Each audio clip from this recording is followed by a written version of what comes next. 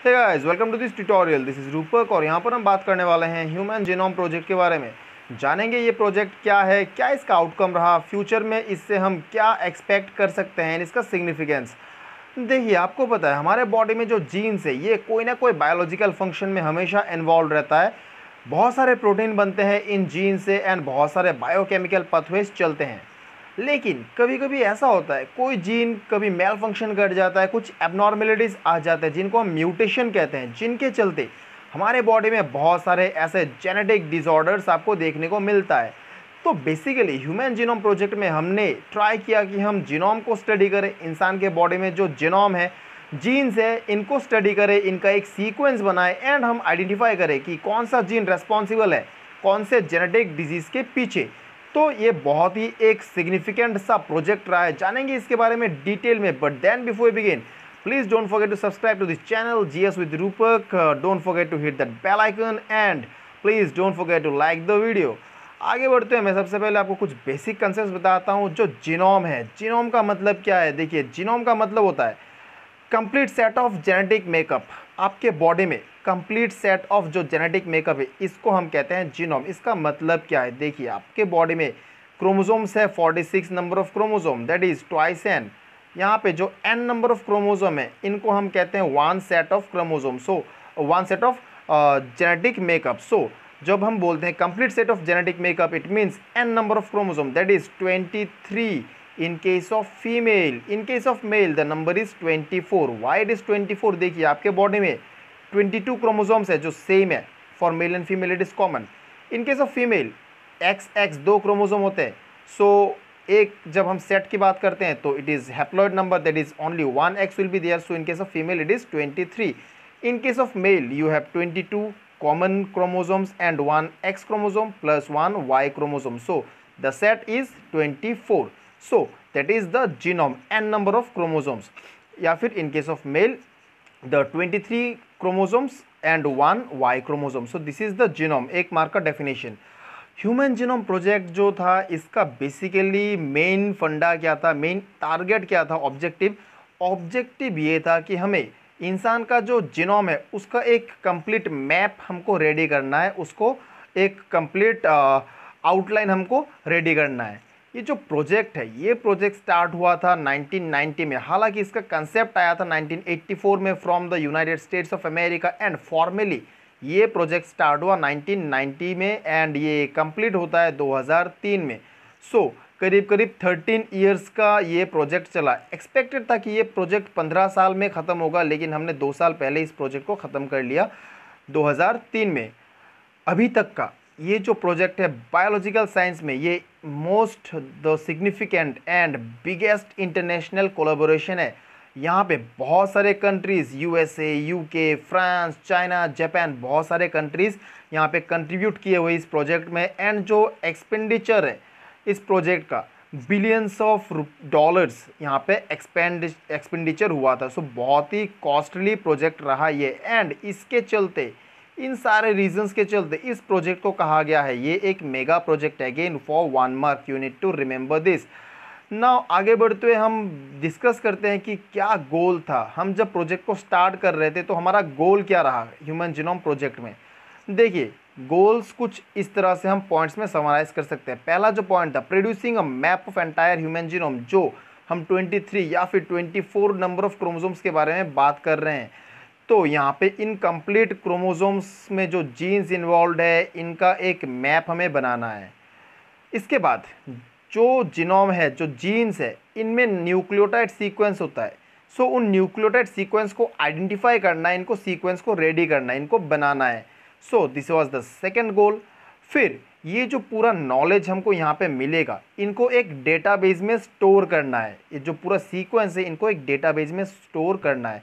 देखिए ये जो सीक्वेंस आपको मिलेगा ये सीक्वेंस बहुत ही लार्ज होगा। माना जाता है कि अगर हम इनको किताब में लिखते हैं तो आपको more than three thousand books लग जाएँगे इन इन्फॉर्मेशन को स्टोर करने के लिए। सो so, हमें बेसिकली ये स्टोर करना पड़ेगा किसी डेटाबेस में किसी कंप्यूटर में। सो so, हमें एक ऐसा डेटाबेस बनाना है जहाँ पे आप इन सीक्वेंस को स्टोर कर सकते हो। देन अगर आप किसी डेटाबेस में इंफॉर्मेशन स्टोर करते हो तो आपके पास फैसिलिटीज़ होने चाहिए कि जब मर्ज़ी आप इन स्टोर इन इन्फॉर्मेशन को रिट्राइव कर सको एंड इनको एनालाइज कर सको तो जो टूल्स है, इनको इम्प्रूव करना है फॉर डेटा एनालिसिस देन जो पर्टिकुलर जीन्स है, किसी पर्टिकुलर प्रोटीन को बनाने के पीछे तो इन जीन्स को मैं आइडेंटिफाई करना है। Which gene is responsible for production of which protein जो जेनेटिक डिज़ीज़ है, इनके पीछे कौन से जीन्स रेस्पॉन्सिबल होते हैं, इनको आइडेंटिफाई करना है। म्यूटेशन के बारे में हमें स्टडी करना है एंड म्यूटेशन के चलते जो एबनॉर्मेलिटीज़ आते हैं, उनको हमें स्टडी करना है। एंड जो ethical legal and social issues होंगे, इस प्रोजेक्ट के अंडर में E L S I ethical legal and social issues इनको एड्रेस करना है। ये पॉइंट आप समझ में नहीं आया होगा आपको। ये पॉइंट्स तो क्लियर है, चलिए बहुत ही सिंपल है। लास्ट पॉइंट का मतलब है देखिए आप क्या कर रहे हैं किसी भी इंसान का जेनेटिक इन्फॉर्मेशन स्टोर कर रहे हैं। And there are very much possibilities कि ये जो इन्फॉर्मेशन है इनका मिसयूज़ हो।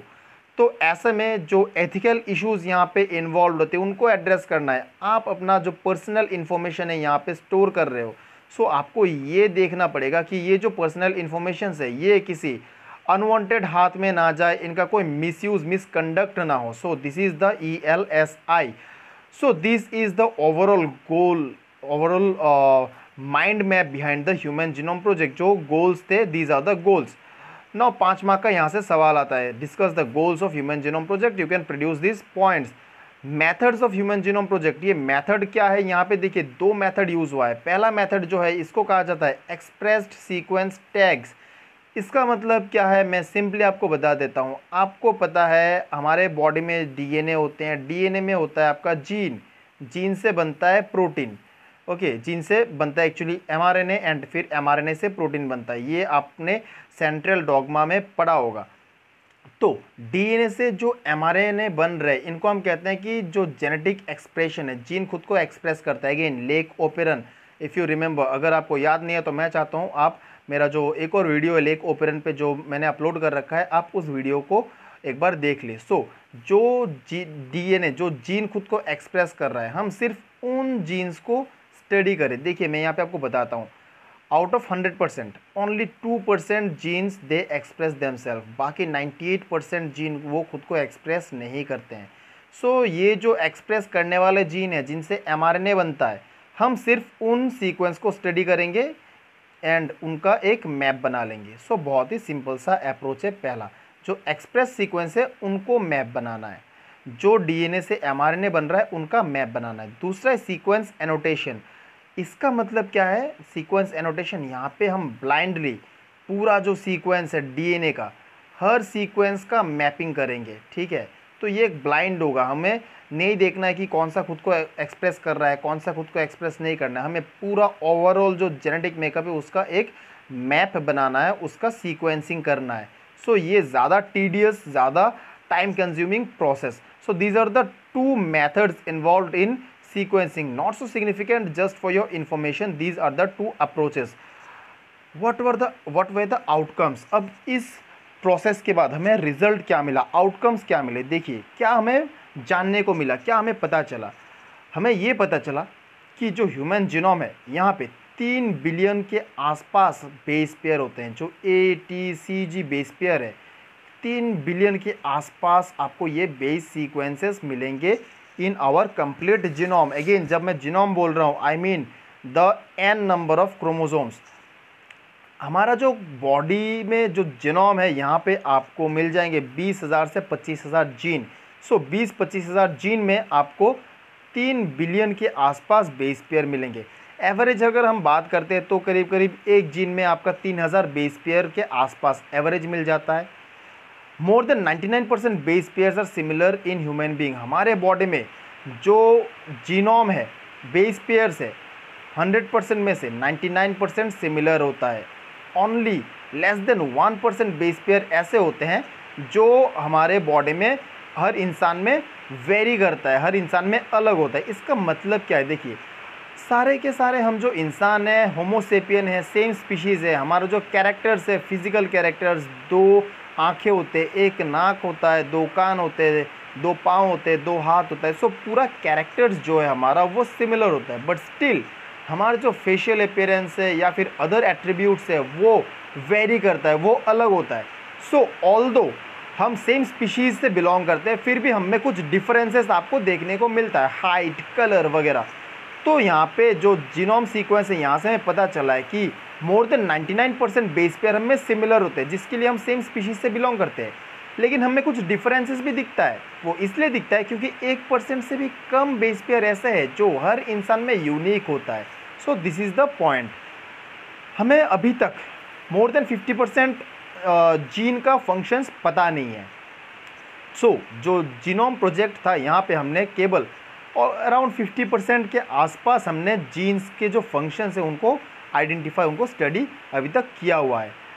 दो परसेंट से भी कम जीन होते हैं अराउंड टू परसेंट जीन्स होते हैं जो प्रोटीन बनाते हैं। हमारे बॉडी में बहुत सारे प्रोटीन बनते हैं non stop from birth till our death so सिर्फ़ दो परसेंट जीन्स इन्वॉल्व होते हैं out of hundred percent gene केवल दो परसेंट जीन ऐसे होते हैं जो प्रोटीन बनाते हैं। नाइन्टी एट परसेंट जीन्स हमारे बॉडी में प्रोटीन नहीं बनाते हैं, इनका कुछ अलग काम होता है। We are yet to identify फिर ये कहते हैं कि जो हमारे बॉडी में क्रोमोजोम वन है, देखिए हमारे बॉडी में फोर्टी सिक्स क्रोमोजोम है ट्वेंटी थ्री पेयर इनको हमने नंबर कर रखा है। क्रोमोजोम नंबर वन इसमें वन पेयर क्रोमोजोम है। क्रोमोजोम नंबर टू इसमें वन पेयर क्रोमोजोम है। सो वन टू थ्री इस तरह से जब हम पेयरिंग करते हैं जो फ़र्स्ट पेयर क्रोमोजोम है क्रोमोजोम वन यहाँ पे हमें सबसे ज़्यादा जीन मिलेंगे। It contains maximum number of gene okay it contains it should be maximum number of genes 2968 and chromosome Y जो मेल में मिलता है यहाँ पे आपको मिलेंगे least number of genes 231 so so, एक नंबर क्रोमोजोम में ये मैक्सिमम होगा यहाँ पे आप ऐड कर लीजिए। Contains maximum number of gene and chromosome Y contains least number of genes हमारे बॉडी में अराउंड 1.4 मिलियन ऐसे लोकेशंस होते हैं जहाँ पे जो डिफरेंस है सिर्फ़ एक न्यूक्लियोटाइड में होता है। इनको हम कहते हैं single nucleotide polymorphism S N P one mark question इसका मतलब क्या है? इसको समझते हैं। हमारे बॉडी में जो जेनेटिक कॉन्स्टिट्यूएंट है वो सिमिलर है ऑलमोस्ट 99 परसेंट ये ऑलरेडी मैंने बता रखा है। करीब करीब 1.4 मिलियन ऐसे आपको बेसिस मिलेंगे जहाँ पे सब कुछ सिमिलर है। बस एक बेस ऐसा होगा जो डिफरेंट होगा। फॉर एग्ज़ाम्पल आप मान लीजिए, अगर आपके बॉडी में ए टी सी सी जी ये एक सीक्वेंस है तो ऐसे 1.4 मिलियन लोकेशंस होंगे जहाँ पे आपका ये सीक्वेंस मेरे सीक्वेंस से मैच करेगा। लेकिन सिर्फ़ एक न्यूक्लियोटाइड होगा, ये डिफरेंट होगा। जैसे कि एग्जांपल के तौर पे मेरे बॉडी में हो जाएगा ए टी सी आपके बॉडी में सी था, मेरे यहाँ पे मान लीजिए टी आ गया है। Then G so only one nucleotide का डिफरेंस होता है। सो so, इसको हम कहते हैं सिंगल न्यूक्लियोटाइड पॉलीमॉर्फिज्म आपके जीन में जो पॉलीमॉर्फिज्म दिखता है मल्टीपल मॉर्फोलॉजी दिखता है वो because of just difference in one single nucleotide and ऐसे 1.4 मिलियन लोकेशंस आपको मिल जाएँगे आपके जीन में। So these are the overall outcomes of human genome project ये हमें पता चला ह्यूमन जीनोम प्रोजेक्ट में। तो again five marks question very important application या फिर फ्यूचर स्कोप क्या है इस प्रोजेक्ट का? देखिए एप्लीकेशन अब बायोटेक्नोलॉजी में वैसे तो बहुत सारे हैं। एग्ज़ाम पॉइंट ऑफ़ व्यू से मैंने आपको दो दो पॉइंट दे रखा है। यहाँ से आप कोई भी पाँच पॉइंट उठा लीजिए आपका पाँच मार्क का एक आंसर बन जाएगा। बायोटेक्नोलॉजी में हम एग्रीकल्चर एंड बायो रिमेडिएशन में यूज़ करते हैं। एग्रीकल्चर में आप समझ सकते हैं एग्रीकल्चर में हम किसी भी प्लांट वैरायटी को या फिर आ, किसी भी एनिमल ब्रीड को अगर हमें एनहांस करना है उसका क्वालिटी इम्प्रूव करना है तो हम यूज़ कर सकते हैं जीनोम प्रोजेक्ट को क्योंकि ह्यूमन जीनोम प्रोजेक्ट से हमें एक टेक्नोलॉजी मिला है। उस टेक्नोलॉजी को हम अलग अलग ब्रांचेस में यूज़ कर सकते हैं। फॉर एग्ज़ाम्पल आपने सुना होगा 2020 में जनवरी में हमने इंडियन कोबरा नाजा नाजा जिसका साइंटिफिक नेम है उसका जीनोम सीक्वेंस निकाला था। So once you have the technology अभी आप किसी भी स्पीशीज़ का जेनेटिक मेकअप निकाल सकते हो। सो so, एग्रीकल्चर में हम किसी भी प्लांट वैरायटी का जेनेटिक मेकअप निकाल के हम उन जीन्स को चेंज कर सकते हैं जिससे कि इस प्लांट को एक बेटर क्वालिटी मिल जाएगा। बायो रिमेडिएशन बायो रिमेडिएशन का मतलब होता है, मान लीजिए कहीं पे पोल्यूशन हो गया है और आप बैक्टीरिया यूज़ करके उस पोल्यूशन को कम करना चाहते हो। सो हम उस बैक्टीरिया में जेनेटिक मॉडिफिकेशंस कर सकते हैं जिससे कि बैक्टीरिया जो है, उसका जो पोल्यूशन रिड्यूस करने का कैपेसिटी है वो बढ़ जाए। एग्ज़ाम्पल के तौर पर मैं आपको बताना चाहता हूँ, कुछ बैक्टीरिया ऐसे होते हैं जो ऑयल स्पिल्स को रिड्यूस करते हैं, न्यूट्रलाइज करते हैं। कोई पानी वाटर बॉडी है जहाँ पे ऑयल स्पिल हो गया है मान लीजिए कोई क्रूड ऑयल है, वो यहाँ पे लीक हो गया तो ऑयल स्पिल इसको रिड्यूस करने के लिए हम बैक्टीरिया को यूज़ कर सकते हैं। अब उस बैक्टीरिया में ऐसे कुछ प्रोटीन्स बनना चा बनना होगा जिससे कि वो इन ऑयल स्पिल्स को रिड्यूस कर सके। अब वो प्रोटीन बनाने के पीछे कोई जीन इन्वॉल्व है। हम artificially with the gene mapping identify कर सकते हैं कि कौन से ऐसे जीन्स होंगे जो ऑयल स्पिल कंट्रोल करने में मदद कर सकता है। So this is bioremediation then medicine में एंड फार्मास्यूटिकल इंडस्ट्रीज़ में यूज़ होता है। एग्ज़ाम्पल के तौर पे वैक्सीन डेवलपमेंट आप यहाँ पे एग्ज़ाम्पल समझ सकते हो। वैक्सीन बनाने के लिए हम यूज़ कर सकते हैं। मेडिकल इंडस्ट्रीज़ में जीन थेरेपी आप किसी भी इंसान को मान लीजिए कोई म्यूटेशन हो गया है तो उस इंसान को आप कैसे ठीक करोगे? आपको ठीक करने के लिए उसका जेनेटिक मेकअप चेंज करना पड़ेगा। इसको हम कहते हैं gene therapy so gene therapy में आप यूज़ कर सकते हो इस टेक्निक को। डिज़ीज़ कंट्रोल एंड प्रिवेंशन कोई भी जेनेटिक डिज़ीज़ है, आपको अगर पता है कि ये जीन रेस्पॉन्सिबल है इस डिज़ीज़ के पीछे। So by treating this particular gene you can control that particular disease इसके अलावा जो अदर यूजेस हैं डेटाबेस डेवलपमेंट जब आप इस तरह का इन्फॉर्मेशन गैदर करते हो, इनको स्टोर करने के लिए आपको डेटाबेस बनाना पड़ता है। आपको मैं यहाँ पे बता देता हूँ, ये जो प्रोजेक्ट था, इसका एक सिग्निफिकेंट आउटकम रहा। बायो इन्फॉर्मेटिक्स जो आज की तारीख में एक आ, अलग सा ब्रांच है बायोलॉजिकल साइंस का बायो इन्फॉर्मेटिक्स जहाँ पे बायोलॉजी एंड कंप्यूटर साइंस का एमलगेमेशन करके हम आसानी से कोई भी प्रोटीन को या फिर कोई भी बायोमोलिक्यूल को एक सिम्यूलेशन में स्टडी कर सकते हैं। मैं आपको इसका एक एग्ज़ाम्पल बता सकता हूँ। कंप्यूटर एडेड ड्रग डिज़ाइनिंग एक ड्रग डिज़ाइनिंग टेक्निक है जहाँ पे हम बायोलॉजिकल सिम्युलेशन यूज़ करके हम कंप्यूटर में ड्रग जो मेडिसिन से उनको डिज़ाइन कर सकते हैं। That is the that is in bioinformatics so basically information technology along with biology so this is the uh, bio bioinformatics. So uh, it can be studied under the data development. Then biology. किसी भी species का जो evolutionary lineage है हम उसको study कर सकते हैं by studying its genetic constituent क्योंकि जो क्लोज़र uh, रिलेटिव्स होंगे जैसे कि ह्यूमन बींग जो है वो मंकीज़ के साथ ज़्यादातर कैरेक्टर शेयर करते हैं। तो हम कहते हैं कि इंसान जो है ये मंकीज़ से इवॉल्व हो के आए हैं। तो सिमिलरली किसी भी स्पीशीज़ का अगर आपको इवोल्यूशनरी बायोलॉजी ट्रेस करना है तो आप उनका जीन सीक्वेंस देखोगे। आप जो इनका रिलेटिव्स होंगे क्लोजर रिलेटिव्स होंगे, उनमें आप पाओगे कि इनका जो जेनेटिक सीक्वेंस है वो सिमिलर होता है। सो इवोल्यूशनरी बायोलॉजी या फिर डेवलपमेंटल बायोलॉजी आपको पता है, जो एक ऑर्गेनिज्म है वो सिंगल जाइगोट से डेवलप होता है। तो एक सवाल यहाँ पे खड़ा होता है कि हालाँकि एक ही जाइगोट होता है तो फिर हर इंडिविजुअल में क्यों अलग अलग स्पेशलाइज्ड सेल्स बनते हैं? अलग अलग ऑर्गन सिस्टम होता है। हर्ट बनता है लीवर बनता है किडनी बन जाते हैं। तो ये जो अलग अलग ऑर्गेन सिस्टम है अलग अलग स्पेशलाइज्ड सेल्स होते हैं, ये कैसे आते हैं? जबकि ये सारे के सारे एक ही जाइगोट से बने हुए होते हैं।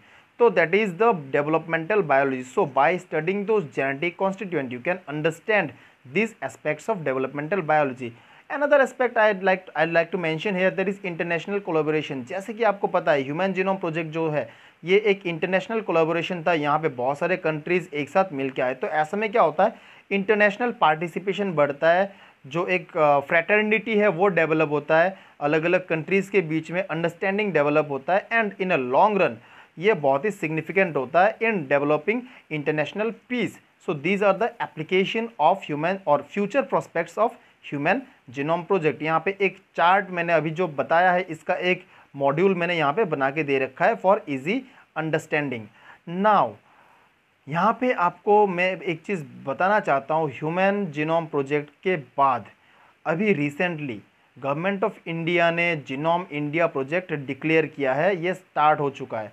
ये मैं आपको बता देता हूँ, ये आपके जो क्लास ट्वेल्व बोर्ड एग्ज़ाम है, यहाँ पे नहीं चाहिए। बोर्ड एग्ज़ाम के लिए आपका यहाँ तक काफ़ी है। ये मैं यहाँ पे दिखाना चाहता हूँ for those who are going for competitive exam so very significant question for U P S C prelims twenty twenty तो ये मैं बेसिकली उनके लिए कवर कर रहा हूँ, जो इसको कम्पिटेटिव एग्ज़ाम के लिए मेरे, मेरा ये वीडियो देख रहे हैं। बोर्ड एग्ज़ाम के लिए आपका यहाँ तक काफ़ी है। So basically genome India project क्या है? ये गवर्नमेंट इंडिया का एक प्रोजेक्ट है, जहाँ पे हम इंडियंस के इंडियंस जो है, इनका जेनेटिक मैपिंग बनाएँगे। सो गवर्नमेंट ऑफ़ इंडिया ने 2020 फरवरी में ये आपका प्रोजेक्ट लॉन्च कर दिया है। प्रोजेक्ट को क्लियर कर दिया है। एक ग्रीन सिग्नल मिल गया है। एक्सपेक्टेड कॉस्ट इसका पड़ेगा दो हज़ार दो सौ अड़तीस करोड़ रुपए का in Indian currency 238 crore and यहाँ पे 20 रेप्यूटेड इंस्टीट्यूट्स इन्वॉल्व होंगे वेरियस आईआईटीज एंड जो मेन नोडल पॉइंट होगा that will be IISc Bengaluru Indian institute of institutes of science Bengaluru project जो है ये तीन साल के अंदर कंप्लीट हो जाएगा, हमारा एक्सपेक्टेशन है जब ये ख़त्म होगा तो ये दुनिया में एक one of its kind project genome project के तौर पे साबित होगा। सिग्निफिकेंस इसका क्या होगा? सिग्निफिकेंस होगा, देखिए, हम इंडियंस जो है, इनका एक जिनोम सीक्वेंस बना लेंगे। Identification of genes responsible for genetic disease disease control technology development and improvement of health care infrastructure अब ये जो पॉइंट है, इसको आप लिंक कर सकते हो आत्मनिर्भर भारत के साथ। यहाँ पे आप देख सकते हैं पीआईबी का एक रिलीज़ है। पीआईबी वैसे मैं आपको बता देता हूँ ये गवर्नमेंट इंडिया का गवर्नमेंट ऑफ़ इंडिया जो इनका माउथ पीस है कोई भी गवर्नमेंट पॉलिसी होता है तो वो पहले पीआईबी में पब्लिश होता है। तो यहाँ पे आप देख सकते हैं ministry of science and technology department of biology इन्होंने ये रिलीज़ दे रखा है मार्च छः तारीख को 2020 में। इन्होंने कहा है कि जो बायोटेक्नोलॉजी ये तीन साल पीरियड में एक एस्टिमेटेड uh, पीरियड ये बता रहे हैं एंड बीस इंस्टीट्यूट्स इन्वॉल्व होंगे यहाँ पे। तो ये जो प्रोजेक्ट है ओवरऑल जिनोम इंडिया प्रोजेक्ट ये प्रोजेक्ट प्रोजेक्ट इन्होंने ऑलरेडी लॉन्च कर दिया है। So this is the genome India project well this is the end of this video I hope ये आपको समझ में आया होगा। In case of any doubt you can ask me in the comment section and thanks for listening and as always God bless you all